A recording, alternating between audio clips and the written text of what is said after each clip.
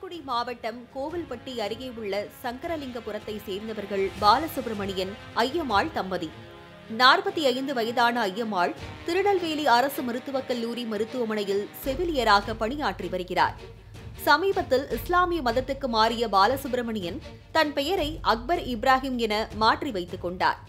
இந்நிலையில் கணவன் மனைவிக்கு இடையே நாள்தோறும் புயலும் பூகம்பமும் ஏற்பட்டு வாழ்க்கையே தகராறோடு கழிந்து வந்தன.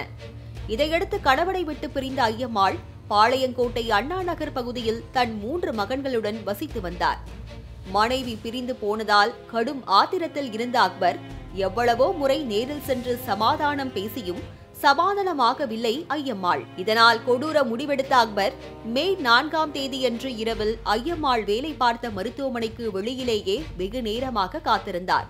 சுமார் ஏழு மணியளவில் வேலை முடித்து வீடு திரும்பிய ஐயம்மாளை தடுத்து நிறுத்திய அக்பர் தன்னுடன் வர வேண்டும் என சண்டையிட்டுள்ளார்.